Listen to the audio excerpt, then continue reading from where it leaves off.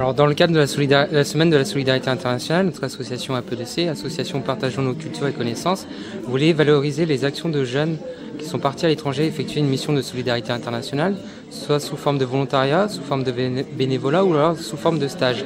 L'idée, c'est vraiment de valoriser les jeunes qui sont partis à l'étranger, montrer que la jeunesse sait s'investir, que la jeunesse sait se mobiliser, que la jeunesse est aussi un moteur et non seulement un, non un problème de notre société. L'idée aussi de ce forum, c'est de permettre à des jeunes qui sont partis à l'étranger de se rencontrer, d'échanger sur leur expérience, d'aider d'autres jeunes à monter des projets. Je suis partie euh, un mois et demi, euh, enfin quatre semaines et demie euh, pour un stage infirmier dans le cadre de mes études.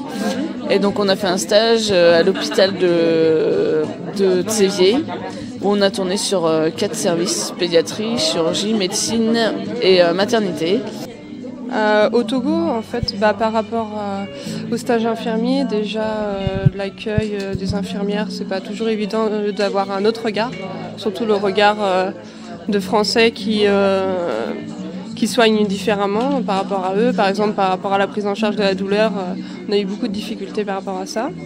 Il n'y avait pas une relation d'égalité en fait entre les patients et les infirmiers. Il y avait une espèce de supériorité de l'équipe médicale envers les patients et que chez nous, qui n'existe vraiment pas. Et euh, c'était vraiment, comme on disait tout à l'heure, plus vu comme des, voilà, une, maladie plutôt qu'une personne. Et c'est vrai que nous, on travaille énormément là-dessus euh, en France et euh, de voir ça là-bas, du coup, ça nous a. Voilà, ça nous a pas mal perturbé. Appartenant à une association qui s'appelle Burkina Action, donc on, on, a pu recevoir une invitation pour effectivement donc assister, participer ou simplement donc euh, venir en visiteur donc par rapport à ce forum. Je découvre tout ce forum, je ne connais pas donc sinon par euh, son titre. Voilà, donc euh, je viens faire le tour des différentes actions qui sont présentées et voir au niveau de mon association si on peut effectivement donc interférer, participer ou autre. Alors là-bas, nous étions en relation avec une association aussi de jeunes qui s'appelait MSAD, et euh, donc nous avons décidé de faire euh, deux, principaux projets. Le, premier, c'était une collecte de déchets. Donc, euh, nous avons fait trois jours de nettoiement de rue. nous ramassions les déchets et on, nous les brûlions en fait pour les, faire disparaître. Et on a acheté aussi un âne et une charrette qui, qui, va faire le tour des quartiers du quartier et qui va récolter les déchets des habitants en fait. Donc, on a fait un chantier d'adduction d'eau dans un village et euh, des constructions d'étals sur le marché. Euh, non, pas de difficulté, parce que c'était déjà prévu, euh, l'organisation était déjà fait avant par, l'association. Nous, on, faisait partie en tant que, enfin, d'une colonie de vacances, quoi. Donc, on participait au projet, au chantier, quoi. On est parti au Maroc pendant donc 10 jours sur place et sinon le voyage s'est fait en 3 semaines à peu près puisqu'on est parti de Bretagne en voiture jusqu'au Maroc. Bah, en fait, le 4L Trophy, c'est un raid humanitaire étudiant qui se déroule donc au Maroc et qui a pour but d'amener des fournitures scolaires, euh, sportives et médicales, si on peut, aux enfants les plus défavorisés du, Maroc.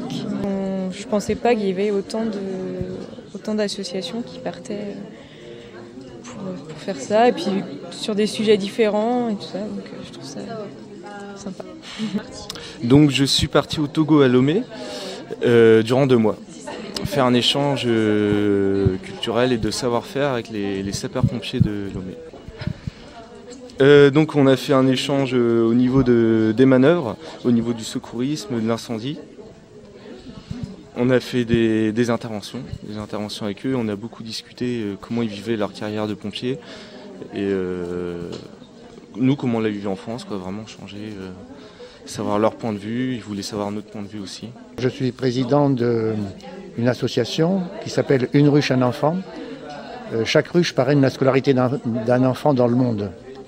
Et donc je suis en passe de, on est en passe d'avoir un agrément euh, service euh, civique et donc d'intéresser un jeune pour faire son service civique avec nous et d'aller installer des ruches aux Philippines pour les familles qui n'ont pas de revenus et qui peuvent, par une formation d'apiculteur, tirer des revenus de la pratique euh, de l'apiculture, euh, vendre le miel et scolariser leurs enfants. Donc je suis très heureux d'avoir des jeunes impliqués dans cette, euh, dans ces manifestations euh, un peu partout dans le monde. euh, c'est- bien. Cette aventure m'a. Ah, C'est difficile de résumer ça en une phrase. Euh, ça m'a vraiment beaucoup apporté. Bah, déjà, euh, sur le plan humain, c'est très enrichissant. Euh, on apprend des choses, on découvre des choses. Euh, même au niveau pompier, en technique, les interventions qu'on a fait, ça nous a donné encore plus de maturité, je crois. Euh, on, prend, on prend une bonne dose quand même là-bas. hein. Surtout avec les pompiers, les interventions, on prend, on prend une bonne claque. Quoi. Et euh, après, sur tout ce qui est euh, le, plan, euh, le plan humain hors pompier, euh, la rencontre de gens formidables. On a rencontré des cultures différentes, plein de choses. Euh, donc une junior association, c'est pour les jeunes qui ont euh, moins de 18 ans. Donc on, on peut avoir des jeunes qui sont majeurs, mais il faut que la majorité des membres soient euh, plus jeunes. Et donc que les responsabilités sont un peu allégées. Et c'est un, système de fonctionnement plus facile qui permet de rentrer dans la vie associative plus facilement. En fait, la particularité, c'est qu'on s'engage que pendant un an. Du coup, on s'engage pas pour tout le temps, en fait. Et on peut renouveler le projet euh, d'une année sur l'autre. Il y a un repérage là un peu pour, euh, pour savoir quoi faire, comment faire, euh, comment avoir des sous. on est parti à deux à Madagascar. Voilà. Pendant combien de temps? Deux mois cet été. Alors nous avons monté un projet artistique auprès d'enfants défavorisés, de milieux euh, défavorisés. Et euh, le but c'était de créer un récit illustré par les enfants. Et voilà, c'est en gros c'est ça.